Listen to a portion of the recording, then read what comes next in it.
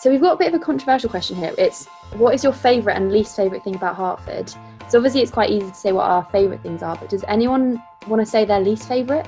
No one knows that the bridge is ours, and, it, and it's quite frustrating. So, okay, so the bridge is size. Everyone, as soon as they're fresher, they'll like come to Oxford and they'll take a picture in front of this really nice bridge, and they're just like, "Who owns that bridge?" I don't know. Well, it's Hertford. One of my favourite things about Hertford is that we have a college cat, and Simpkins, and he's amazing. But one of my least favourite things about Hertford is that Simpkins does not like me, or most people, or anything.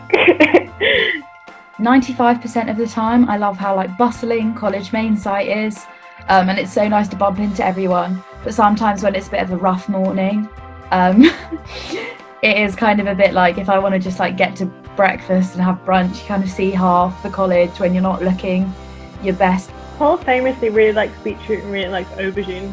They I do think- like that aubergine. Yeah. I just I don't get it. but you know, apart from that, I think it's a great college. Especially if Um, you're a big aubergine fan, Hertford's the place to be. As someone who doesn't like aubergine, I'm still glad I went to Hertford.